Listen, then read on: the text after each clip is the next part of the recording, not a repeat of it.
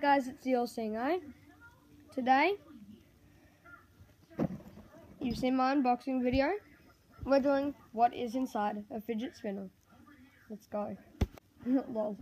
Okay, so now we're just gonna. So this isn't just like any other cap. You have to unscrew it. Okay, there. Pretty simple. Those are the caps. Shiny.